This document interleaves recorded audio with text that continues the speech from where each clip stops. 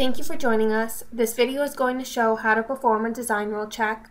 A design rule check generates a report listing all the objects checked and any violations. In the project directory, go to Tools and Design Rule Check. I'm going to select Check Entire Design, Check Design Rules, and both electrical and physical rules. If you have a flat design, under Mode, use Instances. If you have a hierarchical design, use Occurrences. I'm also going to check Create DRC markers for warnings. This will automatically create markers on your schematic where the warnings occur. Under Electrical Rules, set the items you want to check. Under Physical Rules, select the items you want to check. I would typically check for missing and illegal footprints, however, we haven't assigned footprints to our design yet, so I will leave this unchecked.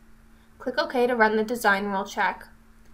If you check the box View Output, the DRC report pops up. View your warnings there.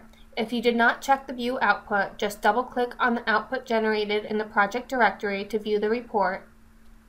Going to the schematic, you can see the warnings with DRC markers. Double-click on the marker to see the warning.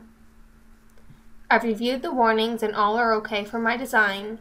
To remove the markers, go back to the project directory, select Tools and Design Rule Check. Under Design Rule options, select Delete Existing DRC Markers. This completes the design rule check. Join us in the next video where we will cover how to create a bill of materials.